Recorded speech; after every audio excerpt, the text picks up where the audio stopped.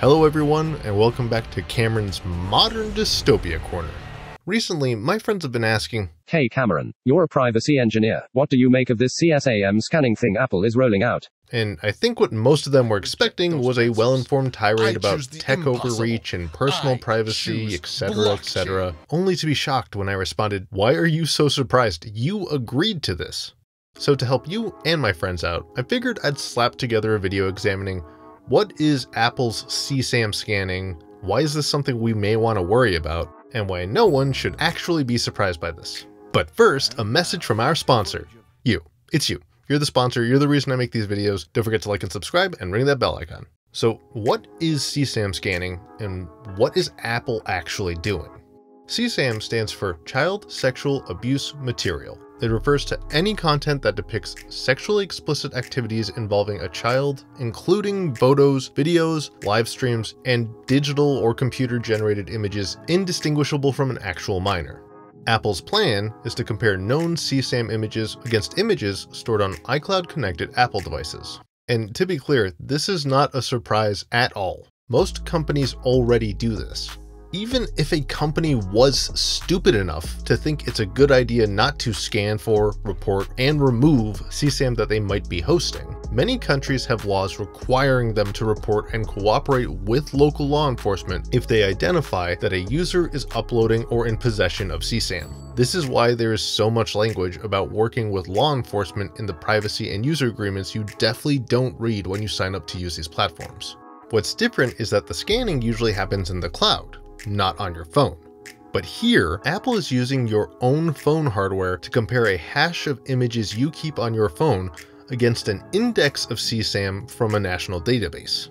Even if you never upload these images to the cloud, they are still being scanned on your device. If enough potential matches are found, then a report is sent to Apple's own employees where, as I understand it, some poor soul will have to compare the actual image of CSAM on the device against the match in the CSAM database. And if it is a match, a report is sent to the National Center for Missing and Exploited Children, and the user's iCloud account will be deactivated. Apple thinks this approach is a fair compromise because Apple is not forcibly exporting photos and shooting them back and forth to the FBI or other agencies. Instead, they're just starting their search by comparing hashes. See, hashing is a really powerful piece of cryptographic technology because it allows you to create a snapshot of a piece of media that you can then compare to another piece of media without ever knowing what the actual piece of media is. This is literally how any website worth its salt checks to make sure that you entered the right password. Another benefit is that hashes are so unique and random that two very similar images will ideally produce very different hashes, even if they only differ by a pixel. And I can't stress this enough. Most companies that do business online already use these technologies and have to do this type of reporting by law. Which begs the question, what's the problem? This is where we get into a really precarious situation. When it comes to CSAM, it is difficult to make any argument against a proposal that attempts to curtail child abuse because the argument is literally Won't somebody please think of the children? The problem is tech ethicists and privacy advocates aren't only thinking of the children, they're thinking of everyone. I really hope I can make the claim that we all want to protect children and make sure they can enjoy a safe and happy youth free of abuse. And there are countless individuals across all industries working thankless jobs trying to make that happen. But when a technology as invasive as Apple's CSAM scanning project comes along, they are setting a powerful precedent for the power individual companies and governments should have over your expectation of privacy and defense against government overreach. Apple's technology is setting a precedent that it is okay for a government or corporation to actively monitor what is happening on your phone in the name of protecting children. A just cause that can unfortunately be co opted by bad actors for the purpose of surveillance or censorship. In an op ed for the Washington Post, researchers Jonathan Mayer and Anunay Kulshrestha, I really hope I pronounced that right, explained that Apple's design wasn't restricted to a specific category of content. A service could simply swap in any content matching database, and the person using the service would be none the wiser.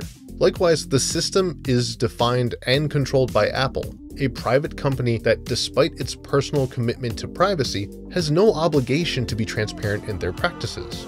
Some might argue that laws could help mitigate this overreach, but the irony is laws often make it easier to codify all the ways a technology can be used rather than the ways it can't. And if you live somewhere that has a government happy to make laws that give it unlimited power to use this technology, then it won't really matter. This tool could be used to figure out what you're doing on your device even if it has nothing to do with CSAM. But even with all this in mind, I still have to ask, why are you surprised? When the vaccine rollout started, people were wrongly concerned it was an excuse for the government to put tracking chips in all the sheeple. To which I and the majority of the internet replied, What do you think phones are for? There is no shortage of memes and posts about how phones do this, and have done this, and will continue to do this well into the future. Movies are built on how the technologies we welcome into our lives only serve to further surveil and distort our reality. I mean, Black Mirror is an award winning show based on just this idea. The only difference is that, much like most of post 2020 life, we're getting a very mask off look at the future we have been slowly marching towards for decades. But, and I cannot stress this enough, I don't want this video to be a bummer. We can't do anything meaningful to change Apple's CSAM scanning policy, especially knowing they're just going to force a slightly different version of it on us in the next update. But there's still plenty we can do to claw back our digital rights.